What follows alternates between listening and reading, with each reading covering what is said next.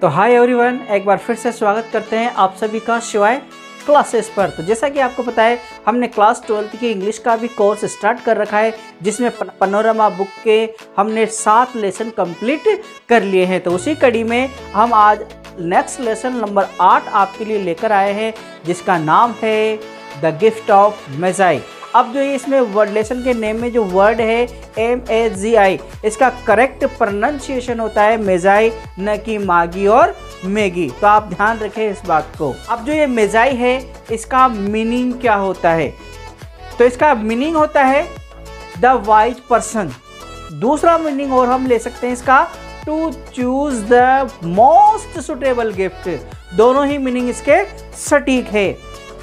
अब इस लेसन का जो राइटर है, वो है ओ हैनरी सब कुछ स्क्रीन पर मेंशन कर रखा है मैंने।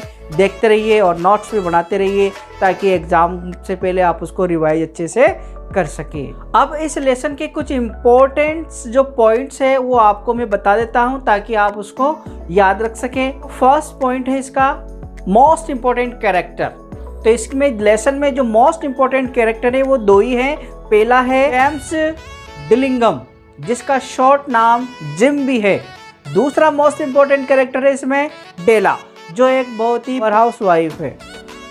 नेक्स्ट पॉइंट है इसका, इस लेसन में जो इमेजिन कैरेक्टर्स होते हैं, उनको बारे में भी ज़िक्र किया गया है। तो इमेजिन कैरेक्टर भी इसमें दो हैं, पहला है द किंग सोलोमन और दूसरा है द क्वीन ऑफ़ शेवा इसमें एक साइड कैरेक्टर भी है। तो जो साइड कैरेक्टर है, वो है मैडम सैफ्रोनी उसकी एक पार्लर की शॉप होती है इस लेसन में. नेक्स्ट पॉइंट है कि जो डेला और जिम है, दोनों के पास इस लेसन में अपनी अपनी प्रॉपर्टीज़ शो की गई है, जो बहुत ही कीमती, बहुत ही सुंदर है. डेला की जो प्रॉपर्टी है, वो है उसके घने लंबे बाल और जो जिम है जिम की प्रॉपर्टी है उसके गोल्डन की वॉच। जो उसके दादा की थी, उसके दादा ने उसको पिता को दिया और पिता ने जिम को दिया। नेक्स्ट पॉइंट है इस लेसन का। चैम्स डिलिंगम है ना? उसकी अर्निंग जो है वो शो की गई है इस लेसन में थर्टी डॉलर्स पर वीक पहले। लेकिन बाद में ये जो इनकम है वो कम हो जाती है और 30 से 20 डॉलर पर वीक रह जाती है। नेक्स्ट पॉइंट है इस लेसन में डेला के पास केवल 1.87 डॉलर ही होते हैं, जो उसने बार्गेनिंग करके सेव किए थे। वह जिम्स के लिए एक शानदार गिफ्ट खरीदना चाहती थी, लेकिन उसके पास पैसे बहुत ही कम थे 1.87 डॉलर ही थे। इसीलिए वो जो राशि थी, इसको तीन बार काउंट करती है वो, क्योंकि वो सोचती है कि काश ये पैसे ज़्यादा हो। पैसों की कमी होने की वजह से डेला ने अपने जो सुंदर सुंदर ब्यूटीफुल बाल थे, वो मैडम सेफ्रोनी को 20 डॉलर में सोल्ड कर देती है, ताकि वो जिम्स के लिए एक शानदार गिफ्ट परचेज कर सके। डेला ने उन पैसों से फिर जिम के लिए एक शानदार प्लेटिनम चेन खरीदी, जो उसकी गोल्डन वॉच के लिए बिल्कुल सूटेबल थी। जिम भी कहाँ कम रहने वाला था तो वो भी डेला के लिए एक शानदार गिफ्ट खरीदना चाहता था। इसी वजह से उसके पास जो गोल्डन वॉच थी, उसने उसको बेच दिया और डेला के लिए एक शानदार जो टोटो शेल की कॉम होती है, रत्नों से जड़ित वो उसके लिए खरीदी। और लास्ट पॉइंट है इसका कि जिस दिन इस लेसन में जो घटनाएँ घटित हुई थी, वो था 24 दिसंबर का दिन। क्योंकि अगले दिन क्रिसमस डे था और क्रिसमस के दिन ही वो दोनों एक दूसरे को शानदार गिफ्ट देना चाहते थे। अब इस लेसन की कहानी को हम समझने का प्रयास करते हैं इस वीडियो के माध्यम से। तो ये जो कहानी है, जिम और जो डेला है, दोनों एक दूसरे को गिफ्ट देने का प्रयास करते हैं और इस गिफ्ट देने की जो प्रथा है, प्रचलन है, उसी के ऊपर ये कहानी चलती है। लेकिन हमारे माइंड में क्वेश्चन आना चाहिए कि ये जो गिफ्ट लेने देने की परंपरा है, ये कैसे चली, कब चली, क्यों चली? तो कहा जाता है इस बारे में कि जब यीशु मसीह का जन्म हुआ था, उस समय जब जो बुद्धिमान व्यक्ति थे, तीन। उन तीनों बुद्धिमान व्यक्ति को जब ये पता चला कि यीशु मसीह का जन्म हुआ है तो वो तीनों उनके लिए एक शानदार शूटेबल गिफ्ट लेकर जाते हैं और तभी से ये गिफ्ट लेने और देने की परंपरा का प्रारंभ हुआ था। उसी परंपरा को फॉलो करते हुए जिम एंड डेला दोनों एक दूसरे को गिफ्ट देना चाहते थे। In every condition then whatever happens बढ़ते हम आज इस लेसन की कहानी की ओर। क्या कहती है? तो कि इसमें जो डेला है वो डेला से ही कहानी का प्रारंभ होता है। 24 दिसंबर से इस कहानी की शुरुआत होती है। 24 तारीख के दिन डेला जिम को एक शानदार गिफ्ट देने का सोचती है, लेकिन उसके पास जो मनी प्रॉब्लम थी, उसी की वजह से वो थोड़ा अपसेट हो जाती है। और जो उन, उसने पैसे इकट्ठे किए थे थोड़े थोड़े बारगेनिंग करके, जब भी वो कुछ भी सामान, सब्ज़ी लेने जाती मीट लेने जाती, या अदरवाइज़ अदर मटेरियल का परचेज करने जाती तो प्रत्येक शॉपकीपर से वो बहुत ज़्यादा बारगेनिंग करती और जितना हो सकता था उसमें से उतने पैसे बचाने का प्रयास करती। इस प्रकार से उसने थोड़े थोड़े पैसों को बचाकर ये 1.87 डॉलर एकत्रित किए थे। अब जब उसके माइंड में 25 दिसंबर वाली बात थी तो उसी के फलस्वरूप उसने जिम को गिफ्ट देने का प्रयास किया। अब गिफ्ट देना है तो पैसे की तो आवश्यकता पड़नी है, लाजमी बात है। तो उसने जो पैसे एकत्रित किए थे, उन सभी पैसों को वो काउंट करती है और काउंट करने पर उसको पता चलता है कि उसके पास केवल और केवल 1.87 डॉलर ही थे, जिससे गिफ्ट खरीदना बहुत मुश्किल था।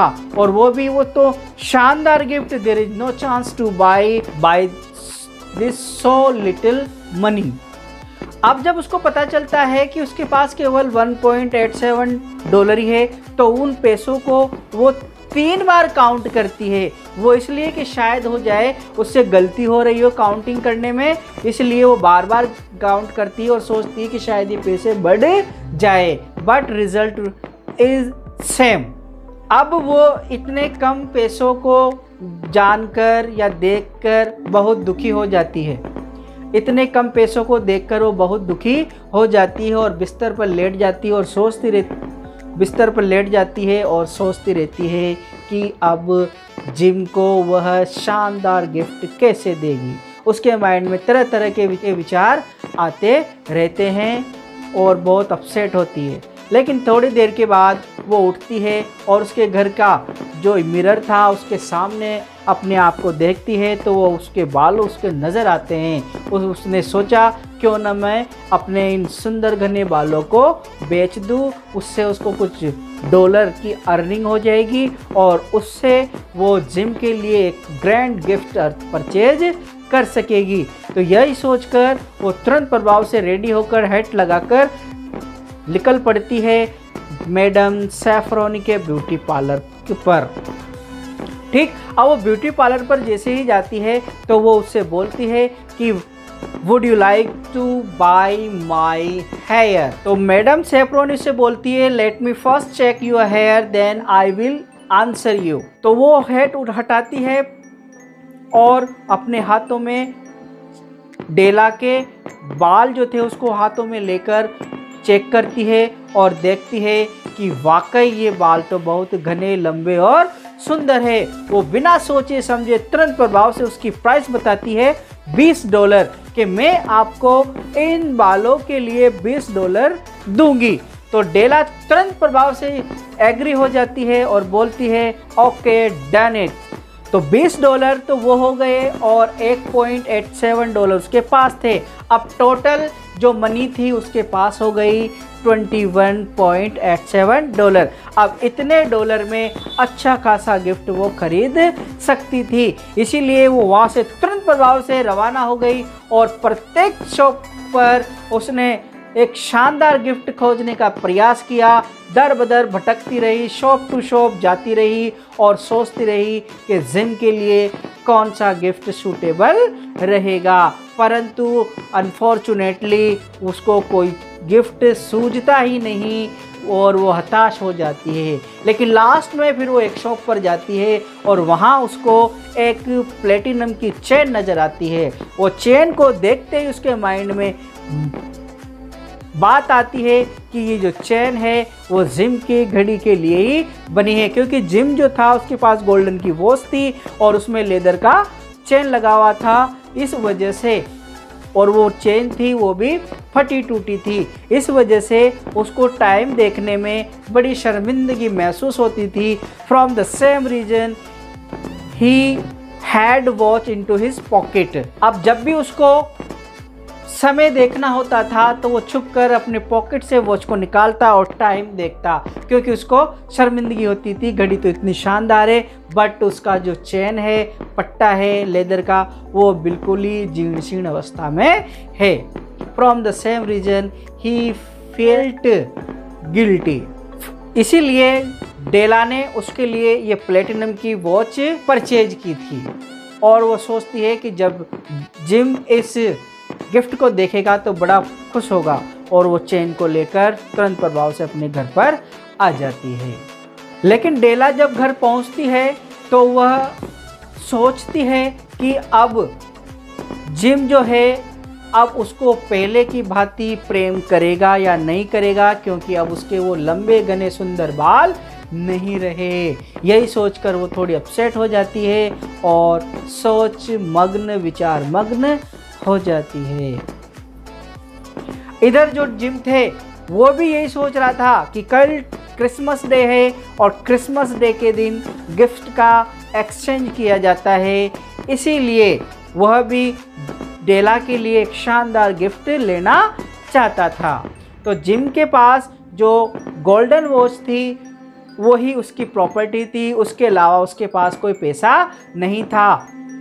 इसीलिए अब क्या हुआ कि जो डेला थी, डेला की एक ख्वाहिश थी कि उसने जब मार्केट में जो टोटो शेल के रत्न जड़ित कॉम्ब देखे, जिससे वो अपने बालों को संवार सकती थी और सुंदर बना सकती थी, उनको वो खरीदना चाहती थी। तो यही सोचकर जिमने वही टोटो शेल के जो रत्न जड़ित कॉम्स थे, वो परचेज किए उसको गिफ्ट देने के लिए। अब दोनों ने एक दूसरे के लिए गिफ्ट ले लिया। जब जिम शाम को सही समय पर घर आता है तो वह डेला को देखकर एकदम शॉक्ड हो जाता है। उसके चेहरे के एक्सप्रेशन ऐसे होते हैं कि डेला समझ नहीं पाती है कि गुस्से के एक्सप्रेशन है या किसी और चीज़ के एक्सप्रेशन है, वो बिल्कुल कंफ्यूज हो जाती है इसके चेहरे के एक्सप्रेशन को देखकर। लेकिन जिम उससे कहता है कि ये जो मेरे एक्सप्रेशन है, वो आपको अभी समझ नहीं आएँगे। लेकिन जब मैं आपके लिए जो गिफ्ट लाया हूँ, उस गिफ्ट को देखने के बाद आपको समझ आएगा कि मेरे चेहरे के ये एक्सप्रेशन ऐसे क्यों थे। अब जिम जब डेला को वो शानदार ग्रैंड गिफ्ट उसको डेला को देता है तो वो जैसे उसको खोल कर देखती है, वो बहुत दुखी भी हो जाती है और खुश भी हो जाती है।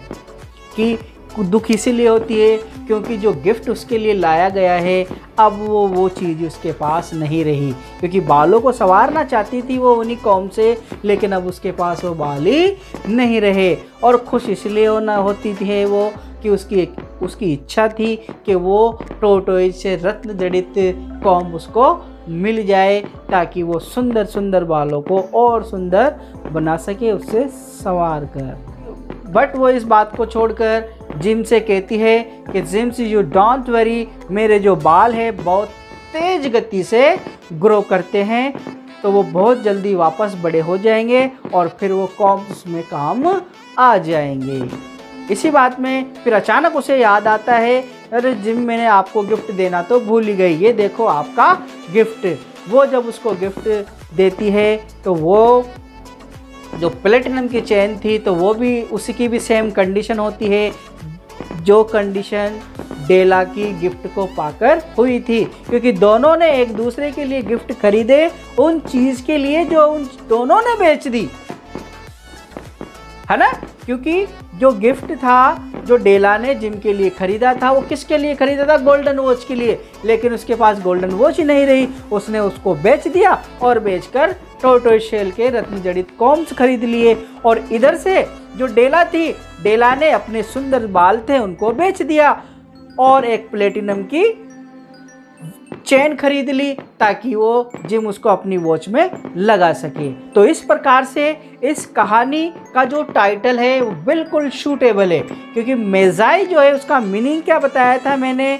To choose the most suitable gift तो दोनों ही एक दूसरे के लिए मोस्ट सुटेबल गिफ्ट खरीदते हैं और इस बात का परिचय देते हैं कि दोनों एक दूसरे से बहुत ज़्यादा प्रेम करते हैं, क्योंकि दोनों ने ही अपने प्रेम के अपने प्रेम को उपहार देने के लिए अपनी जो महत्वपूर्ण प्रॉपर्टीज़ थी, दोनों ने अपनी महत्वपूर्ण प्रॉपर्टीज़ को बेच दिया। उसके बारे में एक बार भी नहीं सोचा, केवल सोचा तो अपने प्रेम के बारे में सोचा कि उसको शानदार गिफ्ट देना है इन एनी कंडीशन तो इस प्रकार से इस लेसन का टाइटल बिल्कुल शूट होता है इस लेसन पर। क्योंकि जो गिफ्ट उन तीनों वाइज मैन ने यीशु को दिया था, बिल्कुल सूटेबल वही सूटेबल गिफ्ट ये दोनों एक दूसरे को देते हैं अपनी महत्वपूर्ण प्रॉपर्टीज़ को खोकर। और फिर जिम उसे कहता है कि अब हमको ये दोनों गिफ्ट जो है, एक और रख देने चाहिए, क्योंकि हमारे पास अभी इनका कोई उपयोग नहीं है। और हमें अब भोजन करना चाहिए, और अब आप भोजन की टेबल लगा दो। इसी के साथ ये कहानी समाप्त होती है। तो उम्मीद करता हूँ मैं, मैं राज महावर के द्वारा जो आपको ये कहानी एक्सप्लेन की गई है वो ज़रूर आपको पसंद आई होगी। अगर पसंद आई है तो चैनल को सब्सक्राइब करो वीडियो को लाइक और शेयर कर दो बेल आइकन को प्रेस कर दो ताकि नेक्स्ट वीडियो का नोटिफिकेशन आपको सबसे पहले प्राप्त हो। तो मिलते हैं फिर नेक्स्ट वीडियो में। तब तक जय हिंद जय भारत।